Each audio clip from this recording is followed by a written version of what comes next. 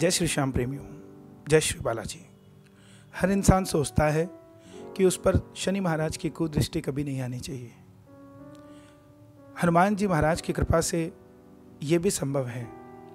एक बार वन में हनुमान जी महाराज प्रभु राम की भक्ति में मगन थे तो शनि महाराज वहाँ प्रकट हुए और बोले, बजरंग बली, धरती पर जो भी रहता है उस पर मैं एक बार अपनी साढ़े साथी की नज़र ज़रूर डालता हूँ, अपनी कुदृष्टि ज़रूर डालता हूँ और साढ़े सात साल तक उसका पीछा नहीं छोड़ता। हनुमान जी बोले, जिस पर राम की कृपा होती है, उस पर कोई कुदृष्टि का असर नहीं होता। शनि महाराज को बहुत समझाया, लेकिन वो नहीं माने। शनि महाराज जब नहीं माने तो हनुमान जी बोले, ठीक है, आप आ जाइए, लेकिन ये बताइए, कौन से अंग पर कब तक रहेंगे?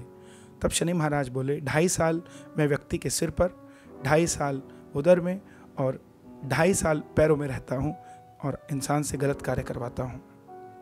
हनुमान जी बोले, ठीक है। शनि महाराज हनुमान जी के सिर पर जाकर बैठ गए और जो ही सिर में प्रवेश किया, हनुमान जी के कुछ थोड़ी सी खुजली सिर में शुरू हुई तो उन्होंने एक बड़ा सा पहाड़ उठाया और सिर पर रख लिया। शनि महाराज बोले कि, प्रभु, ये छोड़िए, ये क्या कर रहे हैं आप? मुझे तकलीफ़ हो रही है। हनुमान जी बोले, जिस तरह आप नियति के निधान के हिसाब से हर प्राणी पर आते हैं, उसी प्रकार मैं भी अपने व्यवहार से विवश हूँ। इसलिए मुझे ये करना पड़ेगा, क्योंकि मुझे खुजली हो रही है, मैं सिर पर पहाड़ रखूँगा। तो शनि महाराज, दो चार मिनट तो कुछ नहीं बोले। फिर हनुमान जी ने एक और पहाड़ उठाया, बड़ा सा फिर रख लिया। फिर शनि महाराज बोले, आप ये क्या कर रहे हैं? हनुमान जी महाराज फिर नहीं माने। शनि महाराज बोले, कि मुझे छोड़ दीजिए, मैं चला जाऊँगा। इतना सुनते ही हनुमान जी ने एक पहाड़ और सिर पर रख लिया।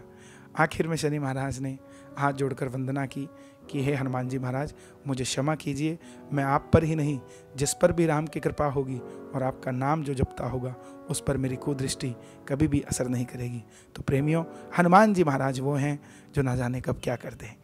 अतुलित बलधामम हेम शैलाबदेहम दनजुवन कृशानम ज्ञानिनानग्रगण्यम सकल गुण निधानम वानराणामधीशम रघुपति प्रिय भक्तम, वात जातम नमा आइए हनुमान जी की शरण में रहें और खुश रहें, सुखी रहें। जय श्री बालाजी, जय श्री श्याम।